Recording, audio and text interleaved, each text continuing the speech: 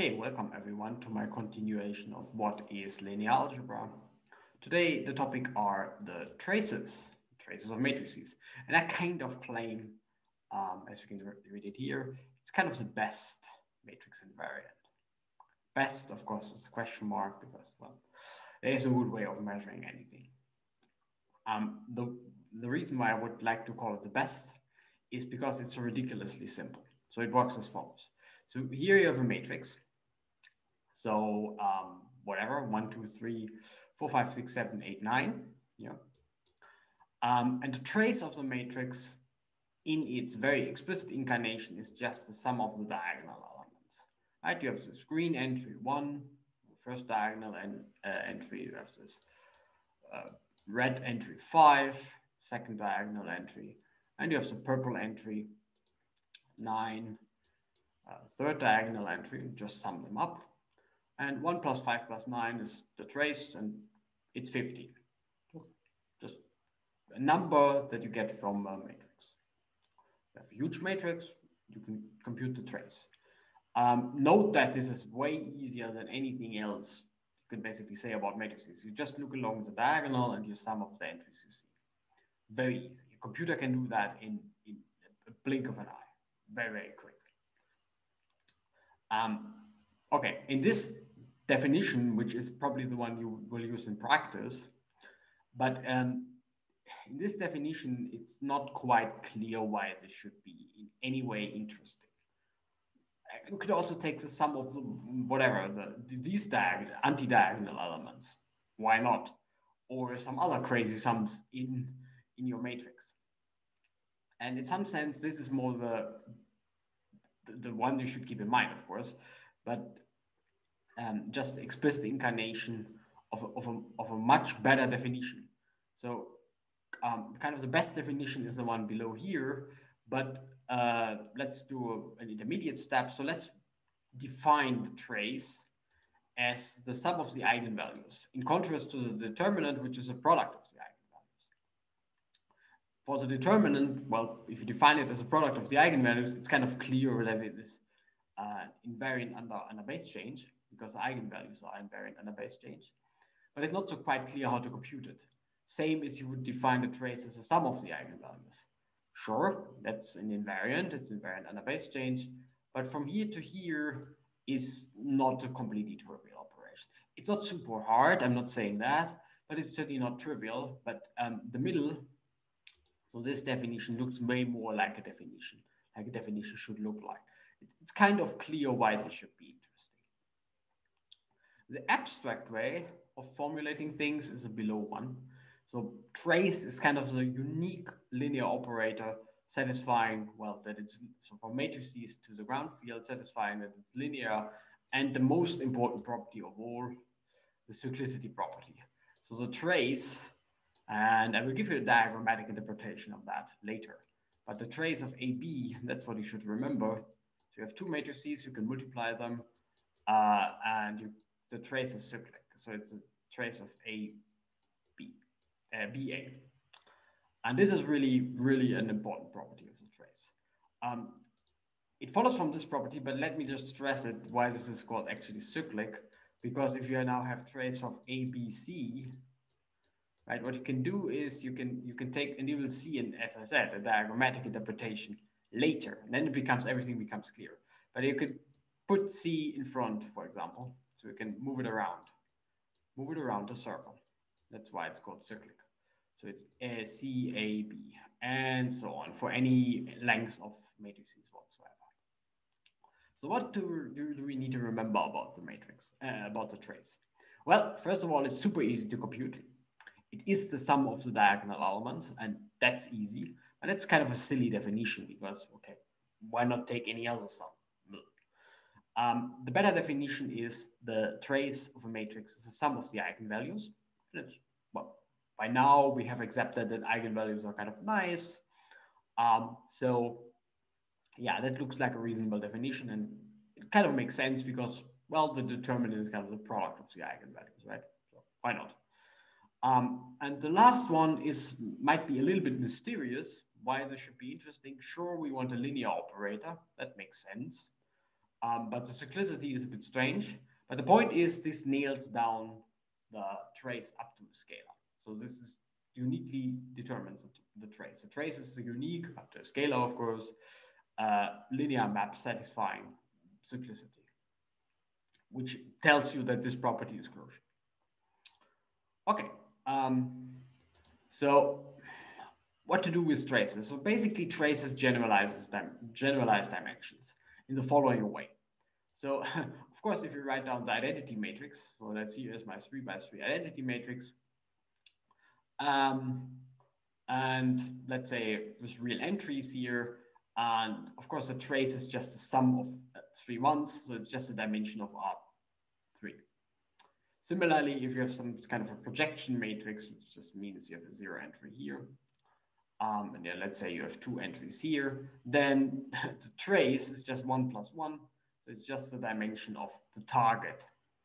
And in general, whenever you have a matrix satisfying this property, this is called a projection.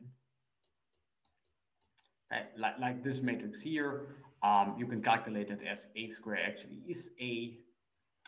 Um, then it's a projection and geometrically it's exactly what you think it does. It, it projects a vector uh, down to a to, to potentially smaller subspace. And how can you figure out the dimension of the subspace? Well, you compute the trace.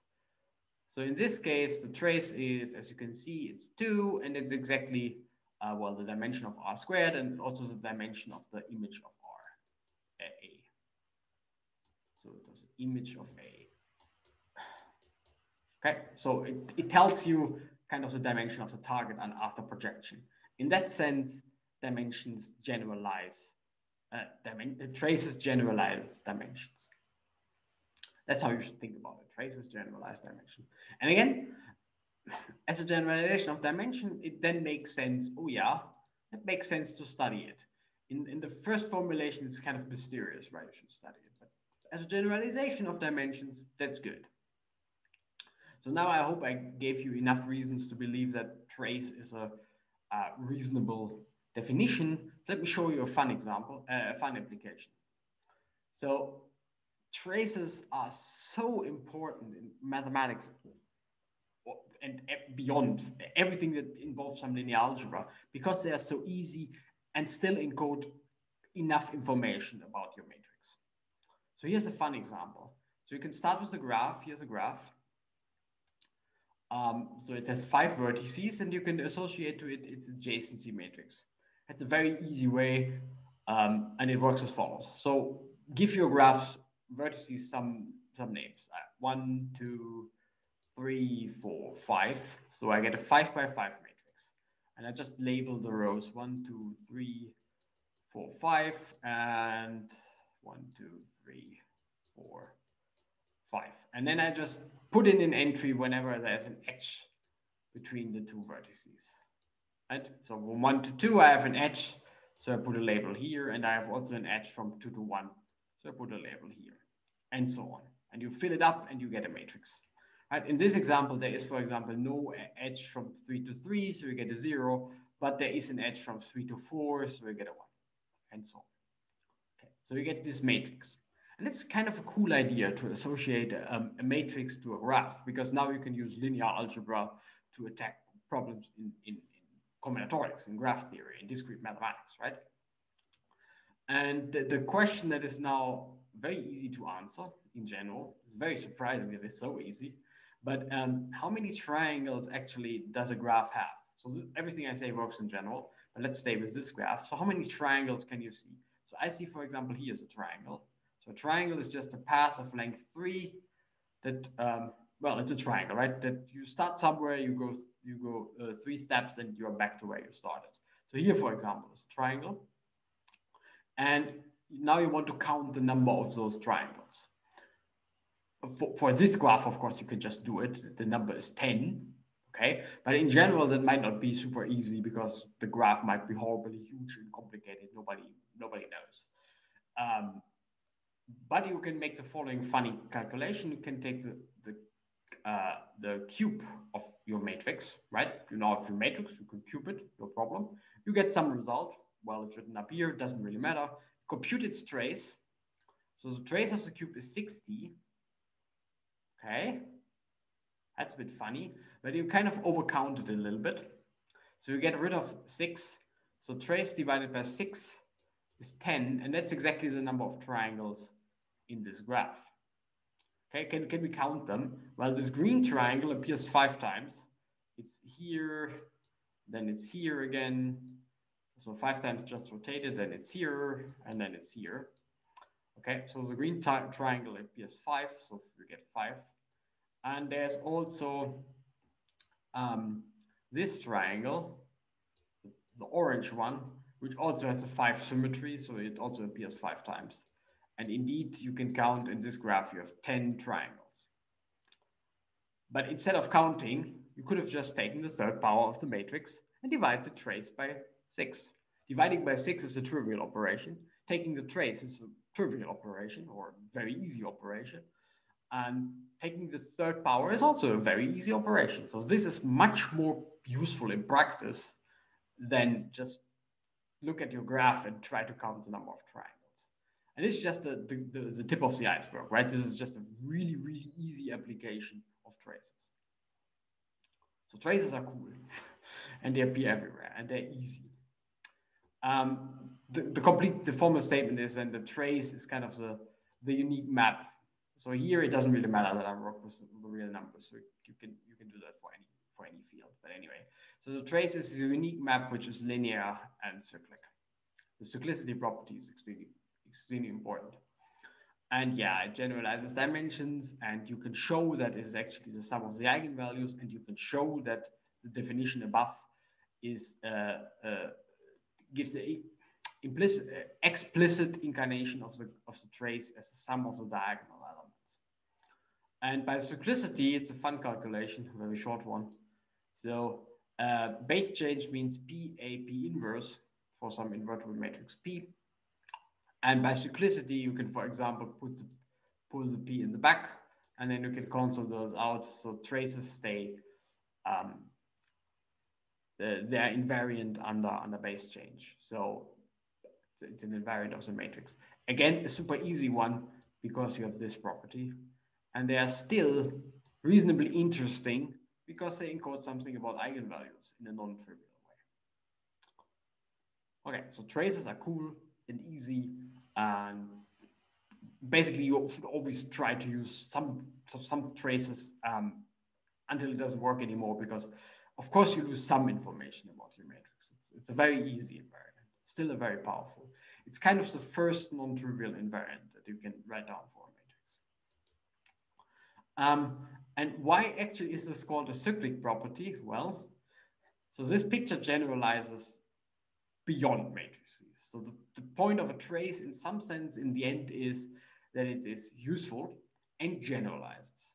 And the, the way it generalizes is as follows. I think of my matrix as, as a box, which has an input, comes in, and has an output, goes out. Okay? And I, I think of my ground field as being an empty diagram, an empty diagram. So how can I go from a box to an empty diagram? From here to here. So how does it work? Well, there's one operation I can think of. I can just close it up. And that's my picture for the trace. So this is my trace. Okay, the picture for the trace is just a circle, a circle with labels, and each label is a matrix. And then the cyclicity property is extremely easy to see. It's just, okay, um, you have A times B. Okay, now you take B, you take B, you pull it around, right? It ends up here, and you pull it even further, and then it ends up here.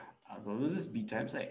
And that's why it's called cyclic. You really just pull matrices around the circle in this picture. And this hasn't used actually any properties about matrices at all.